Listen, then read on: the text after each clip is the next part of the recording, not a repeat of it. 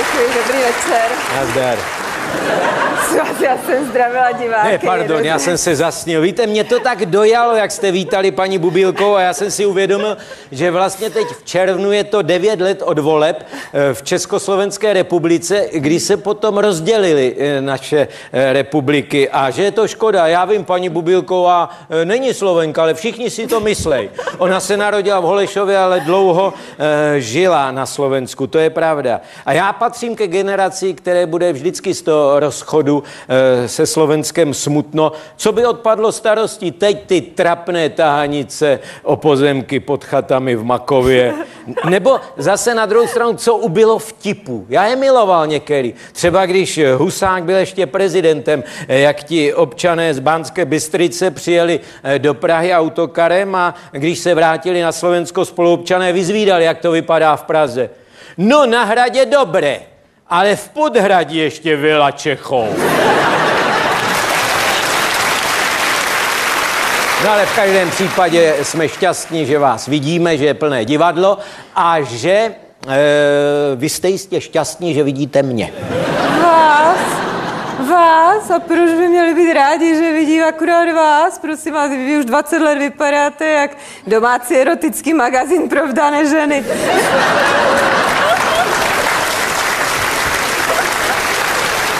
Pardon, to nevím, jestli se mám radovat nebo urazit. Já nevím, jak vypadá domácí erotický magazín pro vdané ženy. No na obálce je stále stejný chlap. No naštěstí, já jsem stálice. Na rozdíl od vás vy měníte imič častěji než Zeman ministry své vlády. A co to stojí peněz, paní Bubilkovou? To jsou šminky, líčidla, štětečky máte hodně, že jo? To je pro každou skulinku jiný. To je neuvěřitelný prostě, jo? Chlap by za to koupil, no třeba doktor Macek Miroslav, známý pod přezdívkou Druhá svatba v Karibiku, ten by za to koupil druhého Jaguára a Karel Gut by postavil novou hokejovou halu. No, ještě se Karlu Gutovi opravdu podařilo s Finama dojednat tu výměnu, že? No, hlavně, no. že to dojednával před finále letošního mistrovství, protože po finále by nám Finové nevyměnili nic. To by Guta prohnali teda finskou eh, saunou a mistrovství by se muselo u nás konat v termínu a to by bylo neštěstí, protože znělkou by se stala patrně písnička, když se ten talínský rybník nahání a museli bychom se v květnu 2003 modlit, aby mrzlo. Jinak by se u nás utopilo hodně světových hokejistů.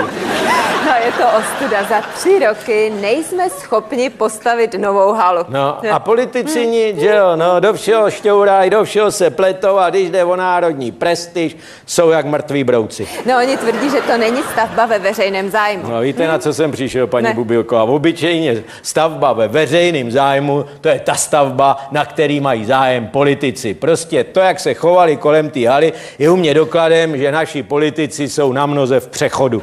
Cože? přechodu? Jak se pozná, že politik je v přechodu? No začalo mu to vynechávat prostě.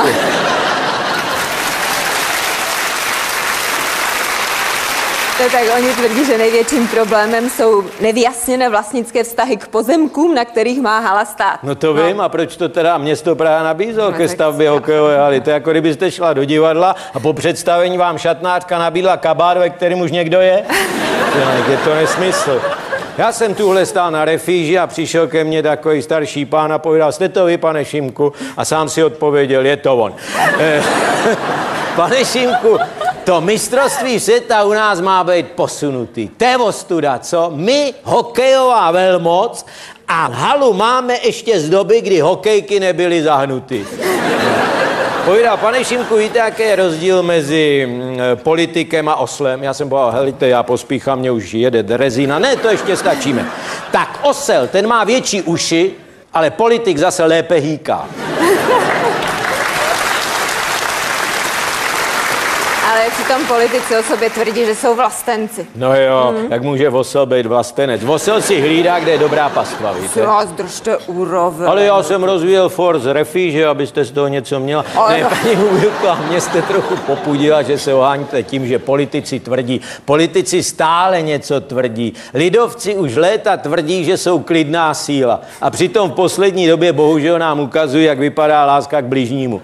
Jen co se k sobě přiblíží, už jsou v sobě. V tomto ohledu mě připomínají mýho kamaráda Votavu, který u mě na chatě najednou přiběh a povedal, rychle čeče, rychle, moje žena spadla do kopřiv, rychle. Já pám, co, mastičku, on pán, ne, foťák, já si ji chci zachytit.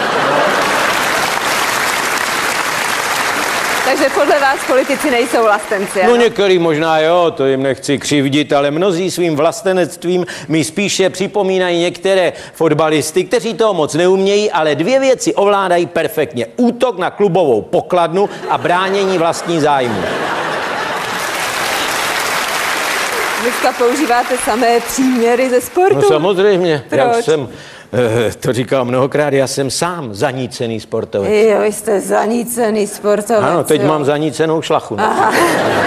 Takže vy jste sportovec, jo? Ano, ano, všestranný Aha, sportovec. který sport to odnes? Právě všechny Všechny. postupně, protože jsem Aha. všestranný sportovec. Teď naposled jsem třeba porazil šachový počítač. Neříkej. No, ano, no tak trochu mi pomohl kamarád elektrikář.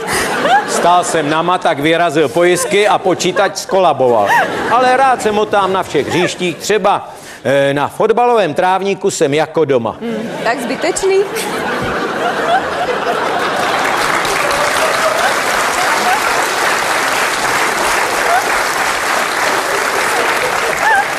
Já jsem nemohl vědět, že mluvila s mojí manželkou, ne? Tak nepostradatelný. Já hraju pravého obránce. Vy, pravé Ano. obránce, když jste úplně levej. No právě, to je zmaté, prosím. S váma nemá cenu se o sportu bavit, vy sportu jednak nerozumíte a jednak ho neprovozujete. No že? dovolte, mou doménou je posilovna. Tak to je pravda, to bych zase křivdil paní Bubílkové. Ona chodí denně do posilovny. Já bych jí to nevěřil, protože ona plká, ale mě to potvrdil můj kamarád Jiří Krampol, který také chodí denně do posilovny, do stejné, oni se tam potkávají, už se důvěrně zdraví, nazdar svalovino. Ne na to obdivu, že někdo je denně v posilovně. Já jsem byl v posilovně dvakrát v životě, to když jsem tam Krampola hledal. No ale jinak i bez toho, podívejte se na mě dobře, postavu mám dobrou, dokonce bych řekl ojedinělou. Ano, ano, ojedinělou to sedí, to, No. to ano. Taky vás zaujala. Ano, No, já jsem to poznal už před lety. Ano, ano. Když jsem byl e, v Kalifornii na pláži, jsem se tam slékal u moře, za chvíli byl u mě producent a říkal, člověče, nechtěl byste si zahrát, my tady točíme pobřežní hlídku po boku Pamely Andersnové? neříkejte, koho jste měl rád? Utopence.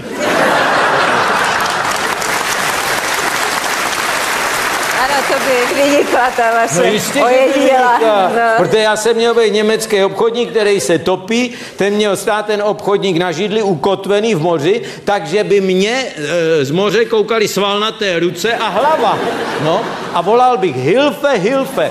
Na ta slova měla Pamela skočit do moře, jen tak, bez záchranné vesty, tu má operovanou, plavat směrem ke mně a přitáhla by mě za bujný porost na břeh.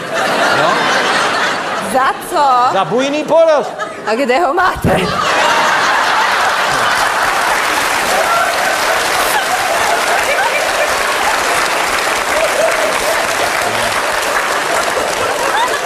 No na prsou já mám...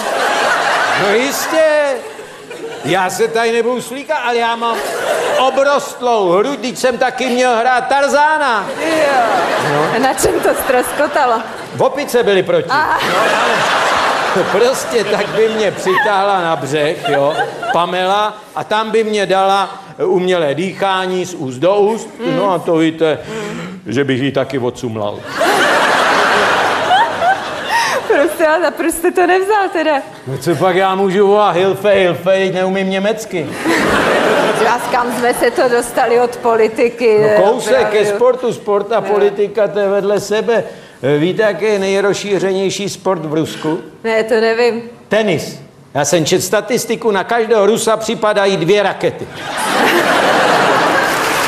No,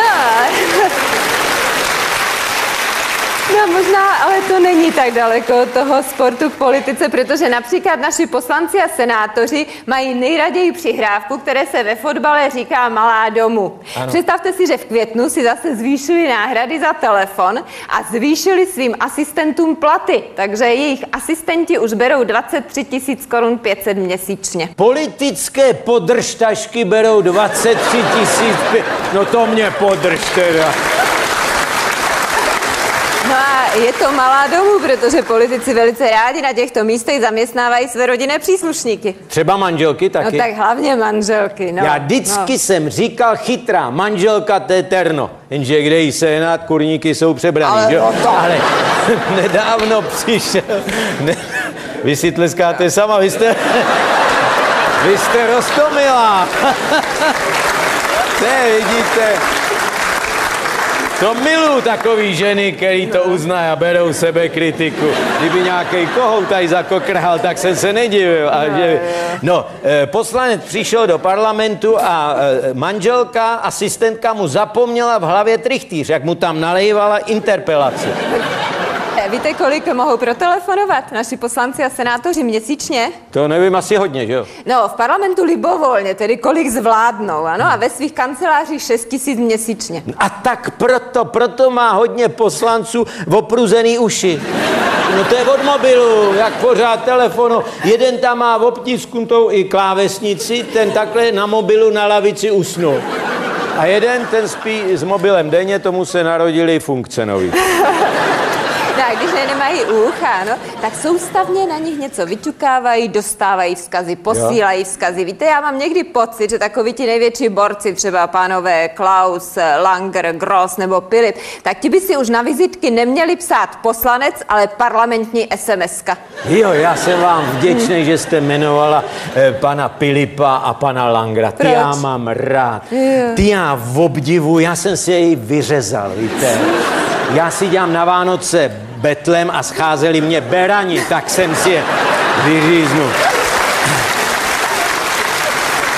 Víte, jaký je mezi nima rozdíl? Nevím, jaký. No to vám řeknu. Na první pohled žádnej, protože oba dva, jak pan Pilip, tak pan Langer, leží předsedovi Václavu Klausovi v žaludku. Ale hluboko v žaludku. Řekl bych až za žaludkem, jo? Rozdíl je v tom, jak se na ta trapná místa dostali. Pilip se tam dostal tradiční cestou při takzvaném sarajevském atentátu, kdežto Langer tam vlezl z vlastní iniciativy zadním vchodem.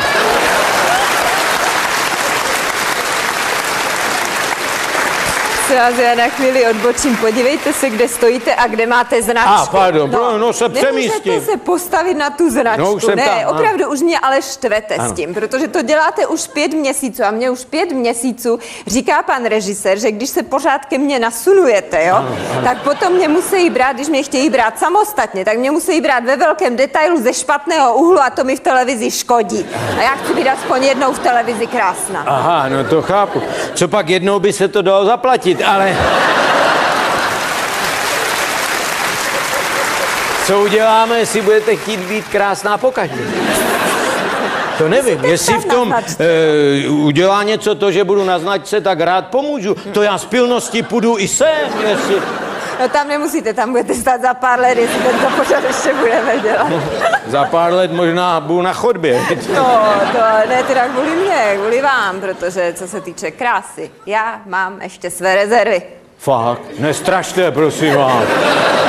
Já jsem myslel, že jste vyčerpala všechny možnosti. Čím nám dáte ještě za uši? Například nemám ještě plastickou operaci. Ale po komu to chcete namluvit, prosím vás? Jste předělaná od paty až k hlavě, sám jsem dělal dvě.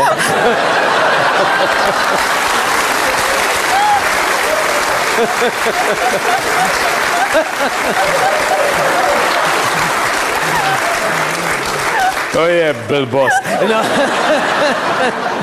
No ne, takhle můžu žertovat, protože vím, že paní Bubilková skutečně nikdy ještě na žádné e, operaci plastické nebyla, ta je teprve objednaná. Už by tam teda byla, ale e, předběhla jedna baba, ta už neudržela kůži, víte, tak ta, ta,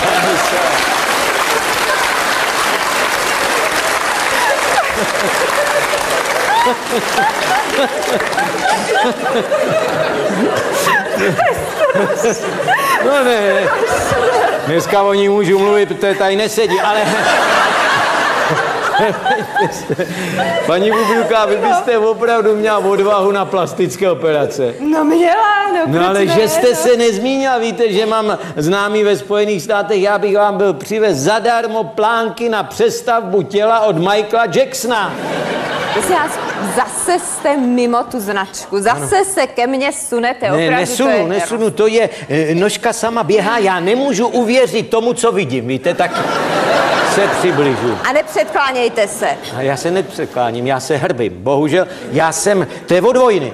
Já na vojnu jsem přišel rovne jak kavan. Opravdu. Ale na vojně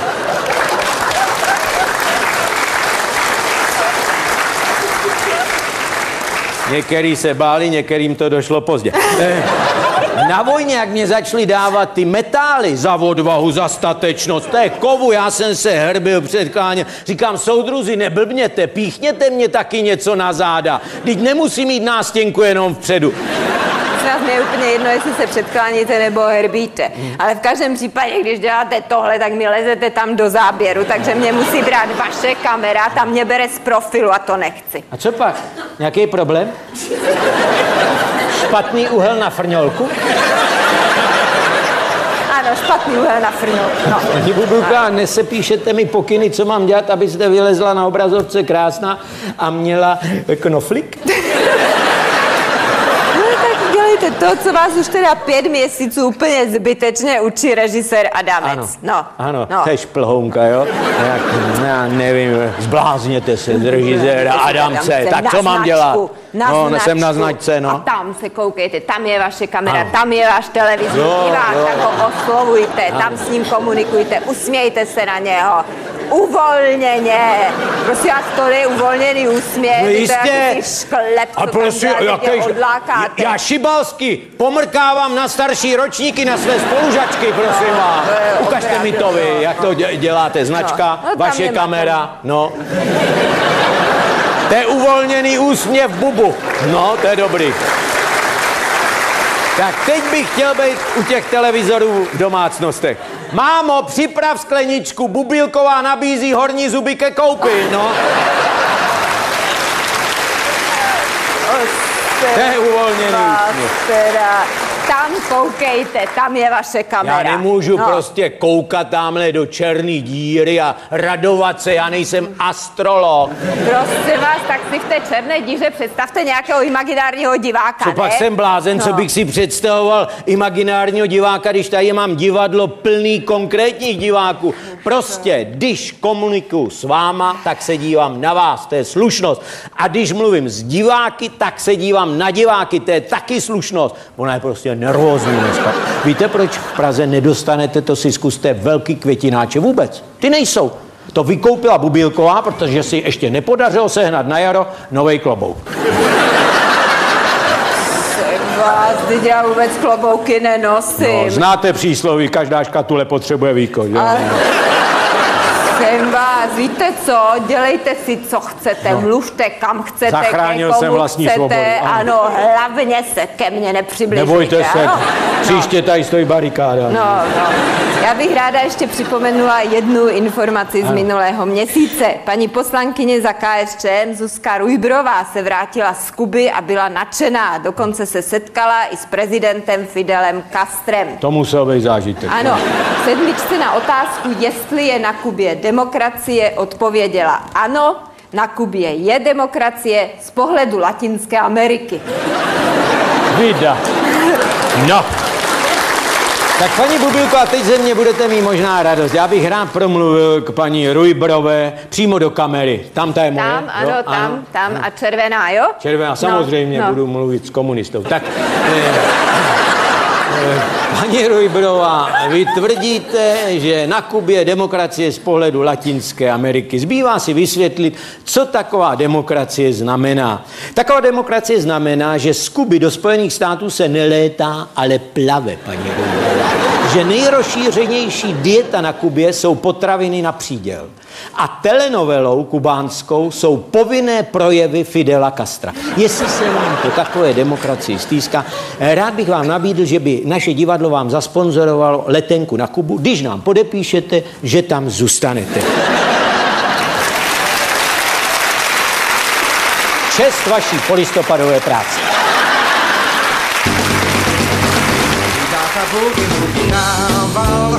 Jenom pro bugy bugy žil.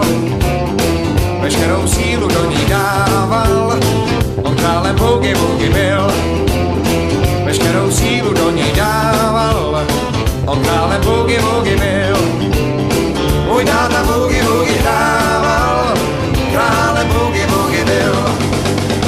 Když táta na piano válel, levačkou tvrdě basoval, a k tomu pravou jako ďábel, pekelný solo bugy hrál. A k tomu pravou jako ďábel, pekelný solo bugy hrál. Můj táta bugy bugy hrával,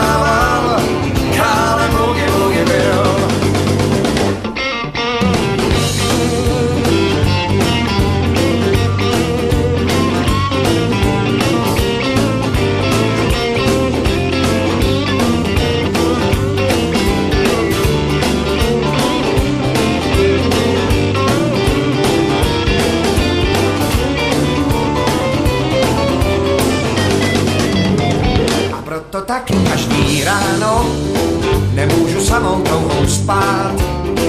Usedám rovnou za piano, chci jako táta bugy hrát. Usedám rovnou za piano, chci jako táta bugy hrát. Můj táta bugy bugy hrával, králem bugy bugy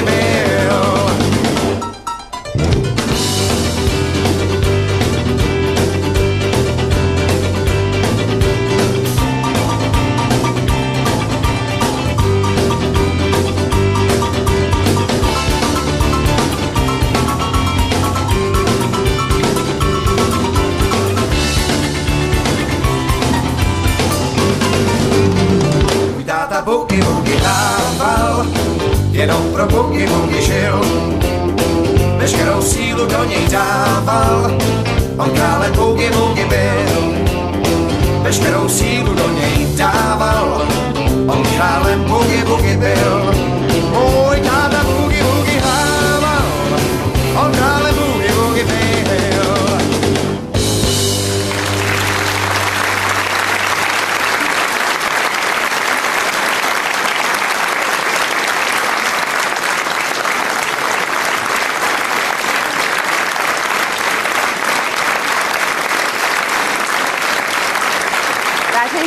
opět je tady Rádio Bubu, které navazuje na tradice Rádia Jerevan. Tentokrát se do naší redakce sešlo hned několik otázek, které se týkají ledního hokeje. Otázka. Dovedete si představit, ptá se Vojtěch Mantinel z Prahy, jak by to vypadalo, kdyby hráli hokej naši politici? Ano, Rádio Bubu si tuto katastrofu dovede představit živě. Rozhodčím takového utkání by byl Václav Havel, ovšem pískala by za něj paní Dáša. Ano, asi takhle. Kolegyně, prosím, jistě už má píšťalku. Eh, Specialistou na hádky s rozhodčím by byl pak hráč Václav Klaus. Ano, ano, to by mu šlo i bez tréninku, kolego. Kolegyně, zdržte se laskavě poznámek. No proč? Já tomu taky rozumím, já jsem na ledu jak doma. Znáte moje piraně? Cože? No, moje piraně, jestli znáte. No. Piruety se říká, ne? no, tak to je snad jedno, ne? No ve vašem podání jistě, ano. Tomu bych věřil. A kdo by byl politická hnilička? No tady by byl veliký výběr. Politický hniliček máme, kolegyně. Co já, já myslím brankář. A, brankář. Brankářem politického týmu by se stala patrně poslankyně Wolfová. Ta by nemusela oblékat chrániče, ta by si oblékla přímo branku. A co by dělal poslanec Ransdorf? Ten by hrál jedině, kdyby hráli červení proti modrým. A kdo by byl trenér? O funkci trenéra by se mezi sebou pomlátila čtyřkoalice a nakonec by se sám zvolil Karel Kín. Ovšem, než by se mu podařilo sestavit mužstva, která by si ujasnila, kdo s kým a proti komu hraje, Klaus se Zemanem by se dohodli na remíze. Otázka. Paní Alžběta Naivní se ptá. Myslíte si, že by národ někdy mohl fandit politikům tak jako hokejistům? Ano, národ by mohl fandit politikům jako hokejistům, ale pouze v případě, že by se politici v parlamentu mlátili hokejkama. Kolego, já nerozumím. A komu by fandil národ? Hokejkam. A ještě poslední otázka k hokeji. Nejsilnějším svalem hokejistů je srdce. Co je nejsilnějším svalem našich politiků? Rádio Bubu se domnívá, že politici mají nejsilnější svaly hned dva. Jazyk a prdel.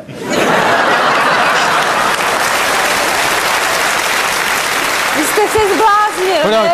No takové výrazy. A co tady mám napsáno, to čtu?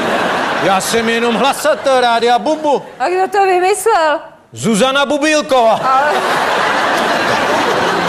Milé rádio Bubu, mohli by naši politici něco předvádět v peříčku? Ptá se Sonja Poloniová, televize Nova. Rádio Bubu se domnívá, že politici by mohli v peříčku předvádět na nejvýš své stranické postavení. Jedině snad premiér Zeman by se mohl v peříčku pochlubit svým hrubým domácím produktem.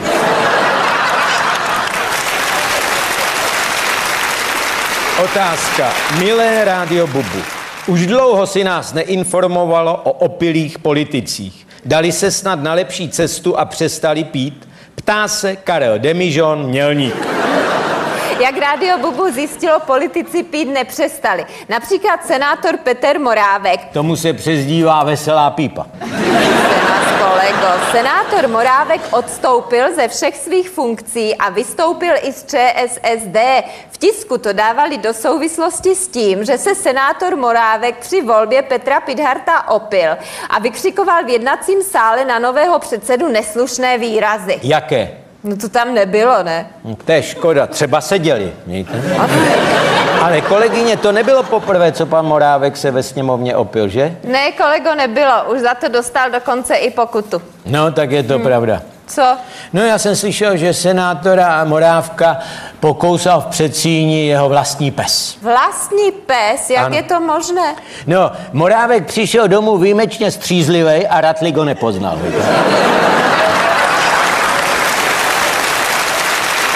A Dubnu také odvolali e, starostu Štemberka, Pavla Stonavského. Proč? No, v opilosti způsobil dopravní nehodu, což bylo posuzováno jako trestný čin. A víte, co udělal pan Stonavský? Ne. Požádal pana prezidenta o milost. No to je dobrý. Jestli každý ochmelka v tomhle národě, který se stříská, něco provede, požádá pana prezidenta o milost, tak to bude mít hlava státu hlavu v pejru. To bude práce, to už se do konce svého období prezidentského do Portugalska nepodívá.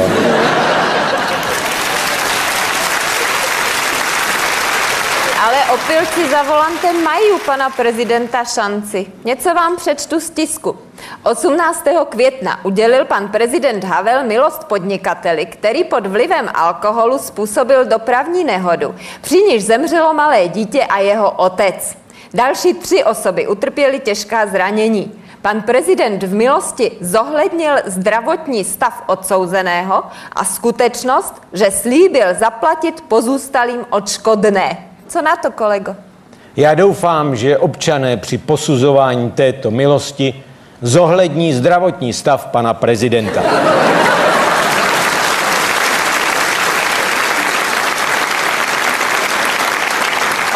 Otázka. V lednu 99 se pan premiér Zeman nad prodlouženou Škodou Oktáví rozplýval.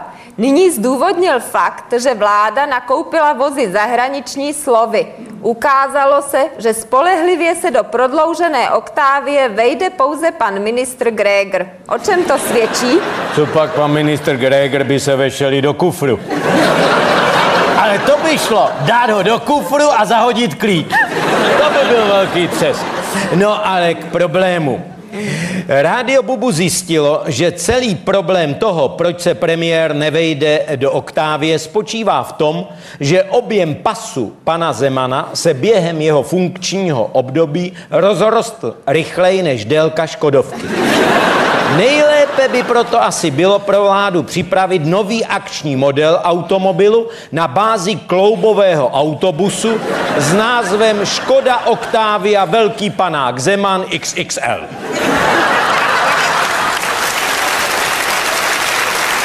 Otázka. Je pravda, že poslanci schválili zákon, podle kterého všichni, kteří Klauzově vládě uvěřili a nechali si zavést do domu přímotopy a teď po několikanásobném zdražení elektřiny mrznou, budou dostávat uhlí zadarmo? Věra vyklepaná Česká Sibiř.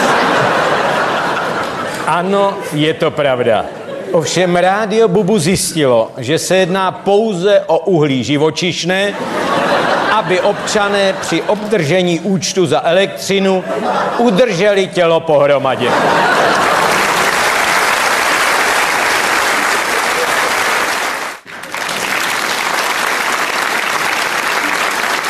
Je tady naše pravidelná politická hitparáda, tedy šest výroků našich politiků, které nás zaujaly. Souhrnu výjdou ve 24. čísle týdeníku klubu televize Nova a vy budete moci opět hlasovat, který z těchto výroků vás zaujal nejvíc. Vylosovaní diváci dostanou lístky na natáčení dalšího dílu politického harašení. Čtyři z těchto diváků už jsou dnes zde v tomto sále. Pardon, já tady zkouším, to je výborná voda. To by Zeman nepil. No, eh, eh, paní Bubilková,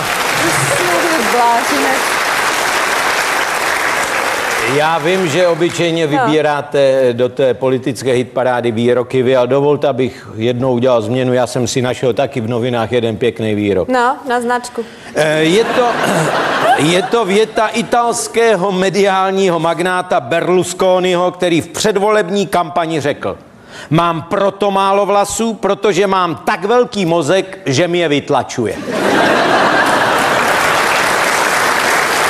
Vás, co vás na tomto zrovna zaujalo? No to je pozoruhodný výrok, to je mazaný výrok, protože tím pozdvihl tímto výrokem Berlusconi sebevědomí všem Italům, kterým ubývá vlasů nebo kteří jsou plešatí a také si zajistil všechny jejich hlasy. Vyhrál volby. No možná na tom něco je, protože zase na náš pořad se kvůli mně dívají všichni diváci, kteří jsou nároční na skloubení krásy a inteligence. To uznávám, no samozřejmě. Já myslím, Proč se ano. Smějete? Já myslím, že kvůli tomu se eh, dívají na nás i diváci opakovaně. Říkají si, přeci už v příštím dílu k tomu skloubení musí dojít. Jsem vás. Náhodou po minulém díle jsem dostala tři nabídky k sňatku, víte? No, no, no tak. No. Jednu, ale byla přes kopírák. No. Jako druhý výrok mě zaujal návrh pana ministra zdravotnictví Bohumila Fischera, který zazněl v televizních novinách 8.5. Eh, Víte, co vymyslel pan ministr? To je ten minister pro alternativní eh, zdraví a reálné nemoci, ano? No ano, pan Tak co- ministr co- Fischer. co vymyslel? Aby každý, kdo se chce zúčastnit nějaké masové sportovní akce, třeba dálkového pochodu anebo nějakého běhu, musel pořadatelům předložit čerstvé lékařské vysvědčení, že je zdravý. Organizátoři jsou strachy bez sebe, že jim lidi přestanou chodit. No jistě, no buď přestanou chodit, anebo skolabuje naše zdravotnictví. To se nedá stačit, tyhle prohlídky. A jestli ještě budou vyšetřovat i Fischera, jo, no to nejde. Víte, kolik taková poctivá prohlídka trvá? Já to vím podle sebe. Mě tuhle prohlíželi, než dokončili prohlídku, už mě píchalo jinde a museli začít znova. To on pan minister Fischer je v poslední době plodný. On je těhotný myšlenkama. Ano, já jsem si například eh, vypsala ještě jeden jeho výrok z 25. v právu. Na otázku, jestli nedává pan Zeman špatný příklad tím, že na veřejnosti kouří, pan ministr Fischer odpověděl, žádný špatný příklad to není, protože lidi si z politiku až tak moc příklad neberou. No já bych se vrátil k té myšlence pana ministra Fischera, ty prohlídky amatérů, sportovců. Já bych to rozšířil i na politiky, víte. Že by politici před každým vystoupením eh, na veřejnosti se museli prokázat e, prohlídkou. Představte si, jak by ubylo blábolů na veřejnosti politických, jak by zeštíhlela naše politická scéna, kdyby museli jít na vyšetření psychiatrické. No moje tetička ze Slovenska, ta říká, já dělím nápady politiků do troch kategorií. Na pochopitelné, nepochopitelné a fuj, to jsem se zľakla. No, jako třetí do naší politické hitparády zařazujeme prvomájový výrok Goliáše odboru Richarda Falbra. Je to smutné, že 11 let od revoluce nejsme schopni zorganizovat masové prvomájové oslavy. No jo, je to smutný, já toho taky želím, ale jak lidi do těch ulic nalákat pomeranče a banány dostaneme celoročně a takového řečníka, eh, jako byl Milouš Jakeš, který pobaví davy slovem, oděvem i zjevem, toho těžko se ženeme. No, on si to zřejmě pan Falbrej uvědomil, když smutně skonstatoval, asi se toho snu masového organizovaného 1. máje nedožiju, ale bylo by to to, co by se mi líbilo. A že si dělá nervy, pan Falbr, tak ať jede se soudružkou Rujbrovou 1. května na Kubu a užije si. Tam to Fidel rozjede chápu, že prostě politici mají cestné nápady, ale nechápu, proč je říkají na hlas. Já jsem nedávno s vnoučkem byl v cirkusu a tam byl výborný šašek. Já jsem ho náhodou potkal, když jsme vycházeli ze stanu, tak jsem mu gratuloval. Upřímně říkal jsem, měl jste výborné vtipy. On povedal, děkuji vám, pane Šimku, ale to je zásluha mé paní. Já jsem říkal, vy máte tak vtipnou manželku. No tak vtipná tak není, ale hodně si pamatuje, co slyší. E, víte, ona to nosí z práce. A pan kde dělá? Deset let uklízí v parlamentu. No tak bodeď by ten šašek nebyl výborný, když ho fórama zásobuje 281 politických klaunů.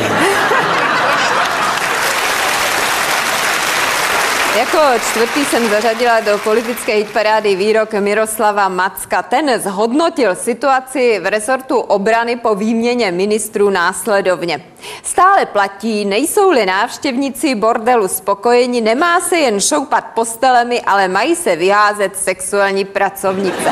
No jste odvážná, že jste tento výrok citovala, to není nejslušnější výrok. A navíc je to starý for, který použili v televizi už ex-ministr Dlouhý, potom pan Zeman, možná i opakovaně, pan Škromach i pan Ransdorf. Ale že to použil teďka doktor Macek je s podivem, protože když si tak vzpomínám, za vlády ODS to nebylo eh, vládní seskupení, to připomínalo partu stěhováků. Třeba jak šoupali s ministrem Stráským, kterého si pamatujete pod přezdívkou pochodující cigareta, nebo s Ivanem Pilipem, který každou stranickou legitimaci vždycky žádá hned s přestupním lískem, nebo námořníka vodičku Sandokana z Oděsy.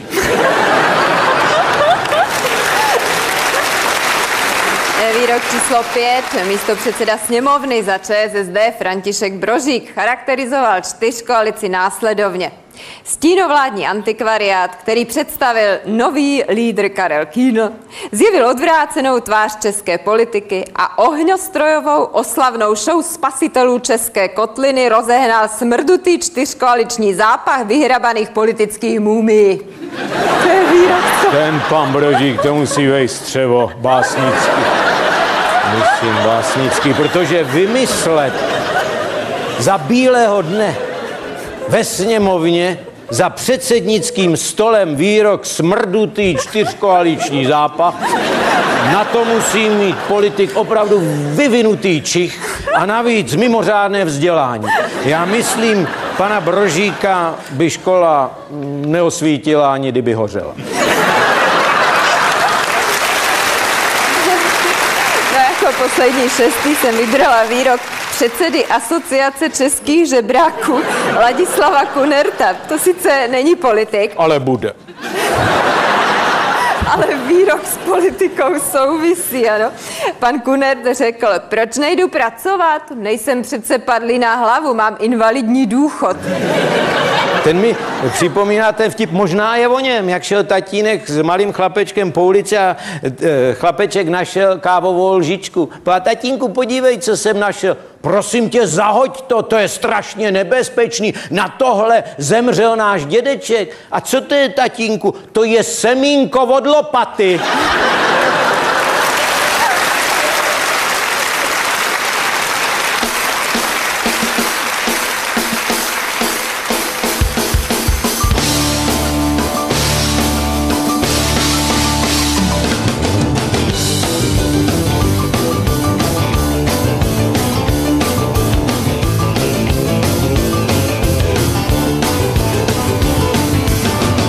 Můžeš se mě klidně smát, já mám tu jízdu rád, tu jízdu vlakem, která nekončí.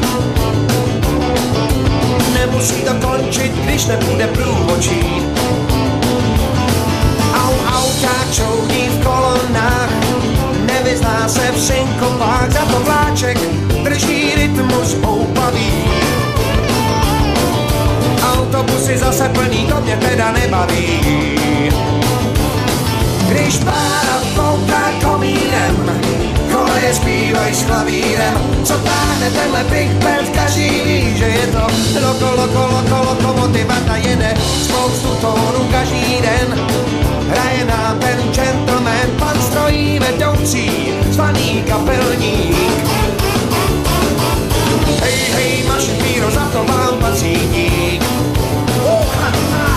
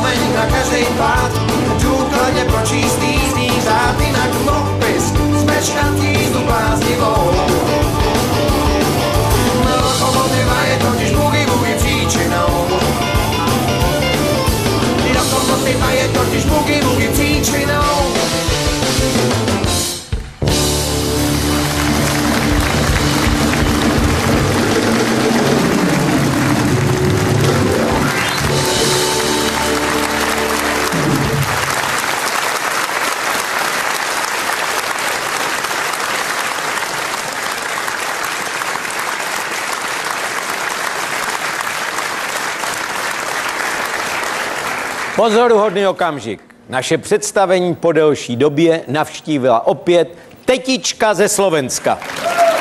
Pán Boh pomáhaj. Nazdar, synak, večer. ahoj. Dobrý večer. Aj. Vypadáte výborně. No veď ty tiež, vždy keď ťa vidím, tak si spomeniem na jednu českú pesničku, ktorú u nás hulákajú chlapi v hospode. Už kamarádi, pomalu na si mladí, už rukou mám. To stačí, to, to, to. Stárnu pomalu a když zpíváte, stárnu rychle. Ale- Eh, posaďte se.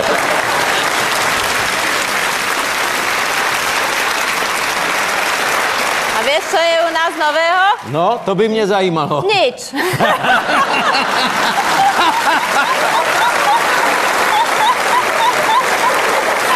No tak to, to jste mi mohla říct do telefonu a nemuseli jsme se scházet. To nie vážne, no kedy Kedysi sme sedeli doma, pretože nás nikam nepušťali. Teraz sedíme doma zo strachu, aby nás nevykradli. Jo.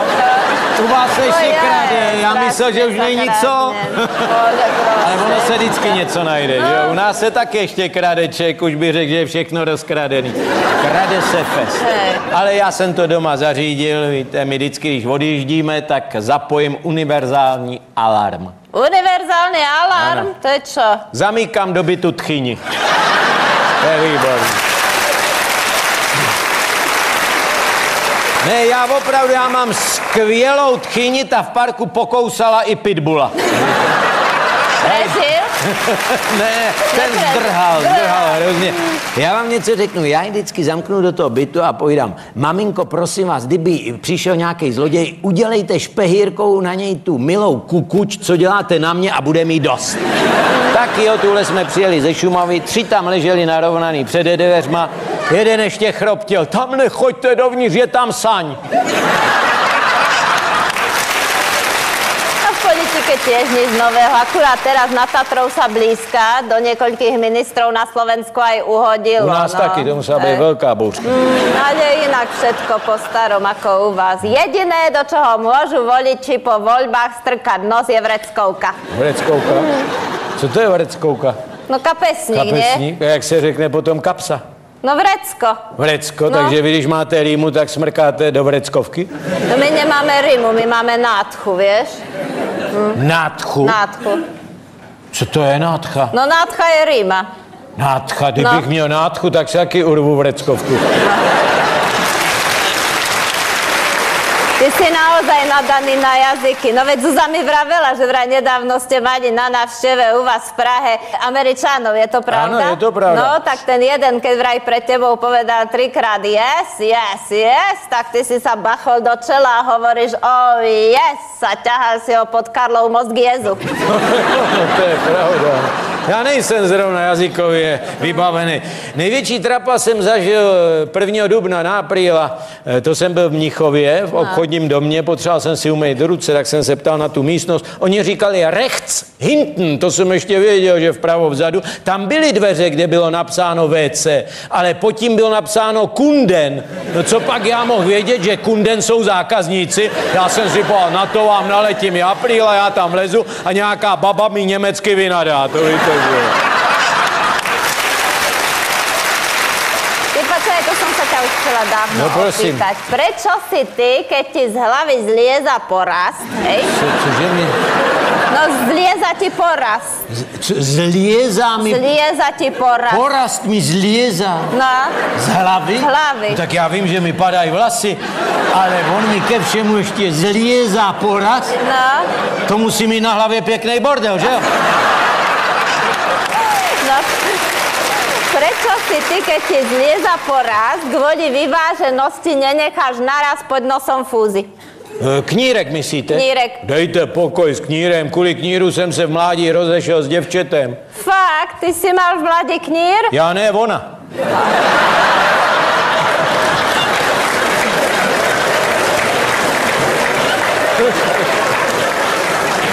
Počúvaj, platíš u holiča? Nemáte jiný Aj otázky? tak mňa to zaujíma, že koľko sa u vás platí za takový nedokonalý porast. Nechte to, nebo si od vás půjčím šátek, teto. Já platím obyčejně e, 180 korun. Nevral, No. toľko? Ty, to ťa strašne okrádajú. Že jo, já si taky myslím. Proto jim tam taky vždycky e, něco šlohnu. Ale e, oni říkají, že No. 10 je za stříhání a 170 za hledání, víte? No ale tetičko, vrátíme to k politice. Když mluvíte o těch penězích, všimla jste si, že u nás rezignoval dobrovolně ministr Hmm. financí Pavel Mertlik? No to som si všimla, hneď som si povedala, a Mertlík zistil, že mu príjmovú časť rozpočtu napadla dlhodobá kulhavka. No a ešte keď zistil, že v tej druhej časti mu Gregor chce urobiť ten kozmický atentát, ten veľký tresk, tak si povedal, to by sa mi mohol za chvíľu odbelať rozpočet celý. Takže vám se ten 300 miliardový velký třes Gregora nelíbí. Ale naopak, mne sa veľmi páči. To je prvá akcia pri ktorej už názov prezrádza, aký bude výsledok. No šúpa, ako keby sa po bankách prešli Terminátor, Likvidátor a Predátor do kopy. A za nimi Gregor Agitátor. No, v jednej krčme na Morave už miešajú taký koktejl. Je to e, z e, Gregorov Semtex alias Veľký tresk. No, obrovská sila. Jeden hospodár sa ho napil, vyšiel von, dýchol na koňa, no z kobily zostali len kopita. No. Co by tak zbylo, kdyby se napil Gregor asi? O neviem, asi rohy. Tečičko. Stejně je to zajímavé, když u nás odstoupí ministr, hmm. tak je to většinou ten schopnější. Například ministr e, Vetchy. No. To už byla vetchá celá armáda a on pořád nic, jakože o ničem neví. Že? Hmm. E, přitom ta technika vojenská, když se přemístěvala, to lidi no. myslí, že se přemístějí sběrný suroviny. A to je na Slovensku to isté. Na Slovensku sa minister obrany volá Stank. A to je jediný tank, ktorý funguje. Čo tie, to, to letectvo? Letectvo u nás výborné. výbor- Stíhačky, Oj. český stíhačky fungují dokonale. Fakt? Teda v domácnostech. V armádě už je to horší. Ale stejně politici mlžej. Ty jsou ochotni nám namluvit, že letadla naší armády nepadají tak často kvůli špatnému technickému stavu, ale a prečo? dověděli se, že má dlouhý vedení, tak si chtěli sednout. Aha. No prostě vám říkám, kdyby Zeman Vetchého neodvolal, takže tam ministr Vetchý sedí dodnes a říkal by, že za nic nemůže, že za všechno můžou objektivní příčiny. No ale objektívne príčiny to je obrovské svinstvo. No, u nás na východnom Slovensku sa vrátil z väzenia Dežo domov po dvoch rokoch a vítala ho Mara s takým malým deckom na rukách a Dežo vraví, ty Mara, počúvaj, ty si mi bola neverná. Ale nie, Deško, to nie je objektívne príčiny. A Mara, čo to trepeš, aké objektívne príčiny? No fakt, fakt, Dežo, objektívne príčiny. Prišiel sused a nebolo čo ponúknuť. Ja čo tá vaša turbína v Temelinu, no. vraj sa trasie ako svoboda, keď vidí Kalouska. Ještě hůř, jako kalousek, když vidí svobodu. No třese se hrozně. No čuduješ sa, veď ona je postavená podľa ruských plánov a zapojená podľa amerických. Ona sa trasie ideologicky. No jo, teď na to přijel nějaký odborník z Ruska se podívat, měl kladivo, kleště a kovadliny. Pak říkal, hodíme na to kožich, třeba se třese zimou. Ty počúvaj, a čo sa stane, keď sa triasť neprestane? No ani to neříkejte nahlas, to by byla šupa do rozpočtu, vám řeknu. No možná by to trochu e, zachránil doktor Uzel. A čo s tým bude sexolog Znáte robiť? ho? No znám, No. Muzlíka znám. No. Ano. A že mu tak důvěrně říkáte, to jsem nevěděl, že působí na Slovensku. On je sexolog z posledních sil. spos... Dělá to dlouho, čím kdo zachází, tím schází. Tak eh, on vyjednal, a to by mohlo vrátit nějaký peníze, že by se turbína v případě otřesu prodala na erotickém veletrhu jako obří vibrátor. Aha, ty, ale počúvať, že si to načal, tiež sa u vás tak blbne s tou erotikou. No blbne, tak u nás doma ne, teda já, já se zamykám. A zajímavý, nikdo neťuká, to je zajímavé. Ale jinak ve státě se blbne hrozně. Ono celosvětově, erotika, to je, já No ja nevím. som minule prepínala v noci televízne programy, ja som napočítala 17 herečiek a iba 3 kostýmy.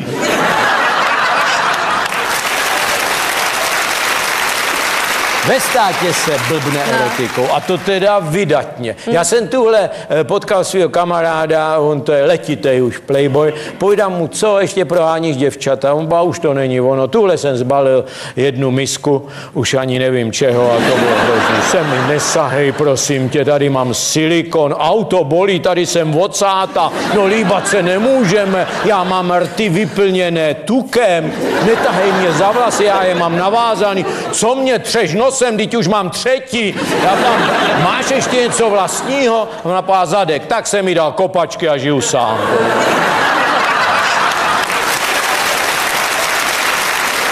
A vieš, čo je zaujímavé, že kde kto sa vyzlieka na počkanie a pritom populácia klesá. No tak tetičko, když se někdo sleče, to ještě se nerodí děti, to může akorát nastydnout, víte? To se musí svlíknout dva a jít do akce. Jenže lidi jsou líní. Víte, oni by pořád jenom trénovali, ale děti nic. Ináne, čo s tým? Co? No čo sa s tým dá robiť? No, vláda něco chystá, špidla Fakt? se do toho dá. Neblbni. Špidla. No, Špidla čaká ďalšie dieťa. no on ne, on je vyběhaný, ale e, z, e, zvýšil porodné. Porodné. Porodné zvýšil, no. no vidíš, aká som ja naivná. A ja som si myslela, že na to, aby mladí ľudia zakladali rodiny, tak potrebujú byty a No zamestnanie, to a já nie jsem si myslel taky, no ale jenom zvýšili zatím porodné. Hm, no čo no? Aspoň bude čo vyvážať do Anglie a do Kanady.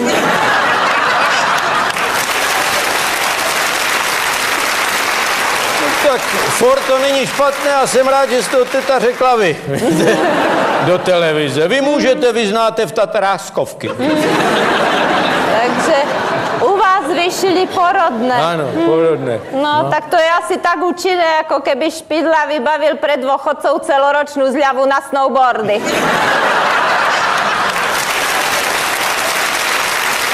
No tak stavať cenovo dostupné byty, to snad sľubovali všetky vlády, nie? No jo, no, každá vláda slibuje a nějak z toho sešlo. No, proste ministri sa pozerali na dostupné byty z hora, ako žirafy, že? No, to víte, no. žirafám se žije, ty si nahoře žerou. Ja, čo ten e, bývalý minister, ten Zemanov, ten císař, to je jeho malometrážne byty pre mladé rodiny, to vyzeralo sľubne, nie? Slubně, no. Pár se jich postavilo, ale přišlo se na to, že jsou ty byty tak malý, že se tam mladé rodiny ani nevešly. Jedna rodina si tam přinesla jezevčíka a museli mu kupírovat ocas, aby se jezevčík otočil v obýváku. No a když to viděl eh, tatínek, co se stalo jezevčíkovi, tak zdrhnul a děti zase nebyly. No. Ty a čo ten súčasný minister, ten Lachnit, ty počúvaj, nemali by sme sa ho opýtať, čo on konkrétne robí pre mladé rodiny? Tetičko, jste opravdu naivní. Konkrétně se ptá ministra. Ministra se zeptáte, mohu vám dát otázku na tělo a ministr vám odpoví, můžete, a ne na moje. Ja som vymyslela rozprávku. Ministro, ktorí sa od revolúcie starali o byty. Počúvajte. Otázku dostupných bytov riešili na jednom ministerstve štyria ministri. Volali sa každý, nikto, niekto a hocikto. Keď bolo treba urobiť dôležitú prácu, každý si myslel, že ju niekto urobí. Mohol ju urobiť hocikto, ale neurobil ju nikto. Hoci koho to naštvalo, pretože to bola práca pre každého. Ale nikoho nenapadlo, že sa každý na ňu vykašle. Dopadlo to tak, že každý vinil niekoho, že nikto neurobil niečo, čo mohol urobiť hocikto.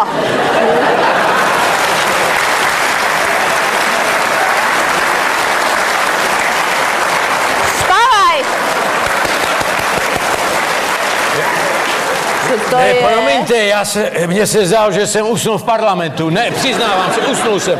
To se mně stává vždycky, jak začne vyprávět pohádku nějaká stará meluzína.